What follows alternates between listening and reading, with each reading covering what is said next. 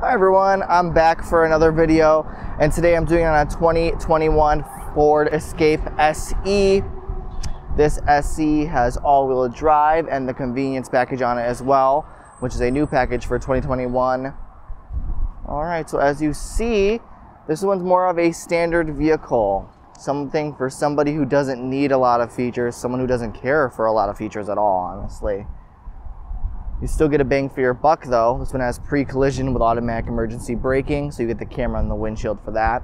You're also gonna get blind spot monitors in the mirrors, a rear camera, cross traffic alert, all those safety features.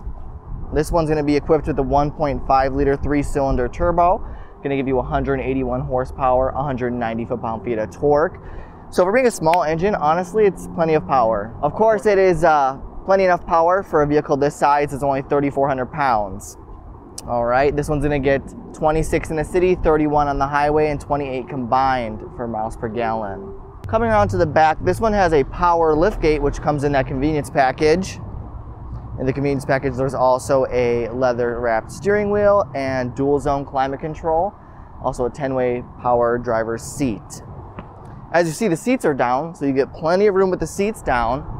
And if I were to put the seats up,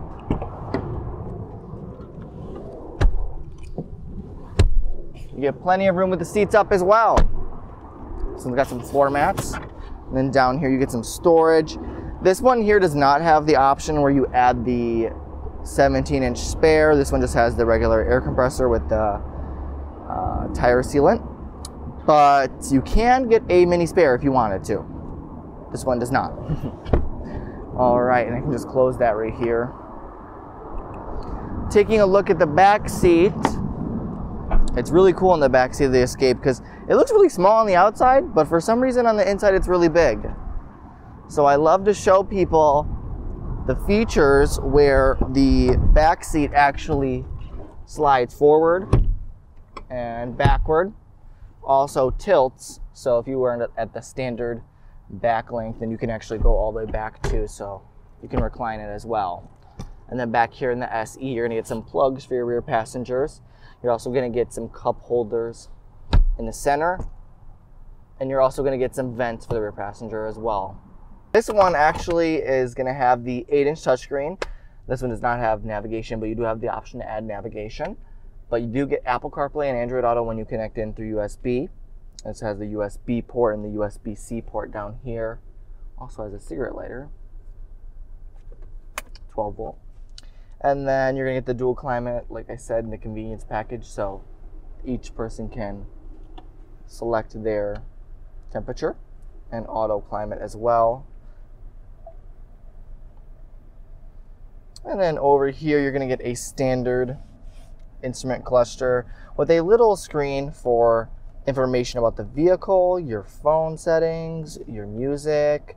This is your driver assist, so if you were to put your cruise control on, you can basically just have that and look all the saved features there with the lane keeping assist system, so I can turn that on and off.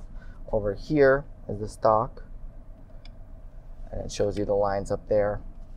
And then you get your favorites view, so this one's got some miles per gallon and the music showing, but you can change all that as well. And then my favorite one, and because I own a Ford myself, but my favorite one is actually this screen, so you can see um, all that information there. It's your trip. Okay. And then this one has automatic windows as well, so you can go automatic down and up for the driver window. And then you get some power folding mirrors for the. Oh, let me try that again. Ready? This one has auto driver's window, so you get to put that down, and then it's regular manual up. It's got some power mirrors, so you can adjust the mirrors.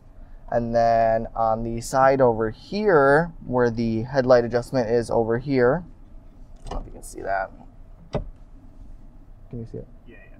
All right, so the adjustment over here, you actually get a button for the tailgate, so I can open up the tailgate for someone if they're in the back. Also get the automatic headlights and the control for the instrument cluster as well. And I can also close the back trunk as well.